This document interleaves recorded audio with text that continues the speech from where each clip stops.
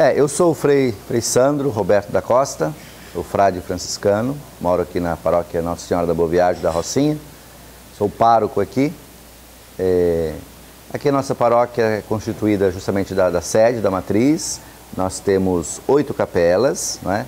algumas capelas em alguns lugares assim bastante de fratura social, quer dizer, toda a Rocinha é lugar de fratura social, mas algumas dessas capelas se encontram em lugares bem, bem difíceis, em termos justamente do, do, por causa do tráfico, por causa da situação também de pobreza. Temos algumas um pouco mais, mais fortes, um pouco mais desenvolvidas, né? E praticamente aqui, segundo o IBGE, chega em torno de 100 mil pessoas na comunidade, o número de habitantes.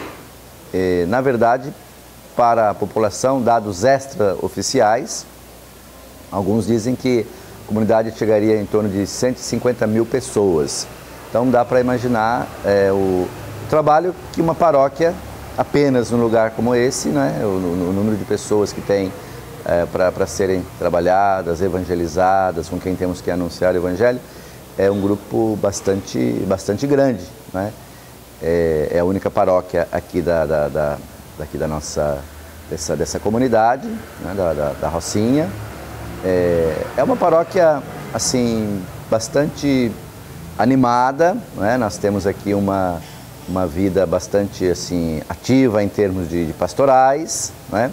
mas também é uma paróquia dentro da típica da Arquidiocese do Rio de Janeiro. A grande maioria das pessoas que vêm, que moram aqui na Rocinha, a grande maioria dos paroquianos são, a maioria deles são é, provenientes do Nordeste brasileiro, principalmente do Ceará e da Paraíba, não é?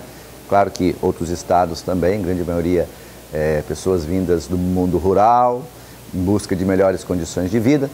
Então, isso também faz com que seja uma comunidade que tenha um certo ar assim mais tradicional, um certo ar quase que com uma mentalidade de religiosidade do interior, religiosidade popular, do santuário, muito forte na, na, na, mentalidade das pessoas, o santuário de São Francisco das Chagas, do Canindé, tanto que o número de franciscos que nós temos aqui é bem grande, o número de Josefas também, não é? Maria.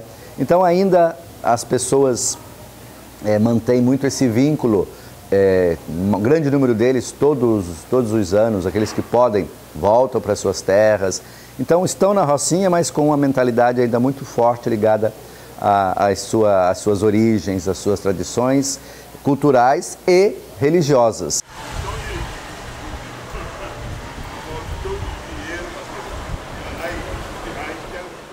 Olha, eu acho, acho não, tenho a certeza de que aqui é o lugar dos franciscanos. Aqui é um lugar onde com certeza Francisco moraria. É o lugar dos grandes desafios é, modernos, é, é o lugar da, de uma necessidade dos frades estarem presentes, sim, para ajudar e pra, para também evangelizarem assim com, com a presença da paz e do bem, que é o nosso carisma franciscano, estar no meio do povo, ajudá-los a encontrar caminhos, também nós sendo evangelizados por todas as pessoas que moram aqui. Aqui é uma realidade difícil, porém uma realidade muito bonita. Eu estive aqui por seis anos, fui muito bem acolhido e a gente pôde desenvolver um bom trabalho de evangelização. Hoje os frades continuam fazendo um bom trabalho de evangelização e é o lugar dos franciscanos estarem.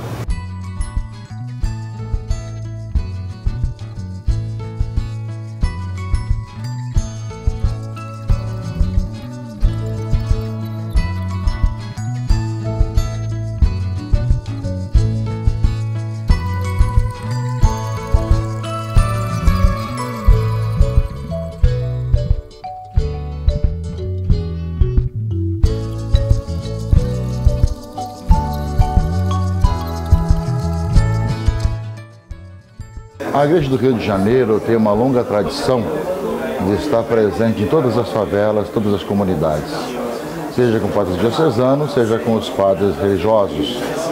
E aqui, gente na Rocinha, já há alguns anos que a Ordem dos Frades Menores assumiu a responsabilidade de continuar um trabalho que já vinha acontecendo aqui, né, levando adiante o trabalho da Arquidiocese e é claro que a importância de ser sinal de fraternidade, de unidade de fé, que ao mesmo tempo ajude as pessoas a verem a sua fé em Cristo, é fundamental importância. Porque no meio de tantas pressões, violências, dificuldades, diante de tantas ideologias e políticas, a vida cristã, o Evangelho, é essencial para dar uma luz nova a essa população.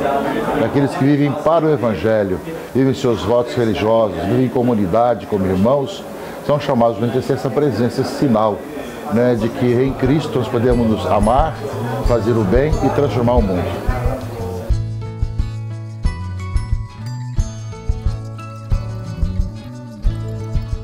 São os grandes desafios do mundo urbano, os grandes desafios das comunidades eh, nos meios empobrecidos e a Rocinha, um dos maiores desafios justamente é a pobreza e uma pobreza que a gente percebe que aumenta dia a dia e vem buscar alento, não apenas o alento é, econômico em termos de uma ajuda para uma cesta básica, mas à medida que, que a pobreza avança, que avançam as dificuldades em geral, econômicas também, não é? Desemprego, etc., aumentam também os problemas sociais gerais, problemas psicológicos, a violência, falta de segurança, falta de, de de um ambiente propício para desenvolver a, a, o diálogo em família. O problema do, alco do alcoolismo é, é, muito grande, a violência contra a mulher. Uma sociedade aqui, assim, a gente, eu digo isso para todos, é, inclusive nas, nas celebrações a gente lembra isso,